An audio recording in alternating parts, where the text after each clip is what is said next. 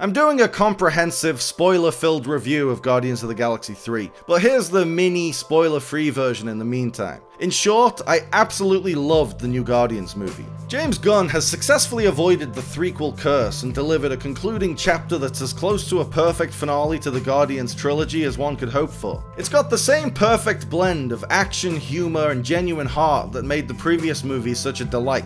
It is a lot darker and sadder and heavier than the other Guardians films, but that's not a bad thing. This is the end of the road for the team. It feels natural for the story to get a lot more emotional in its final chapter. It's a devastating movie, and some sequences actually feel like a kind of emotional torture. But it'll make you laugh just as much as it makes you cry, and Guardians 3 is ultimately an uplifting film. This is really Rocket's story. If you love Rocket, which I don't think anyone doesn't, then you'll love this movie. I'm done running.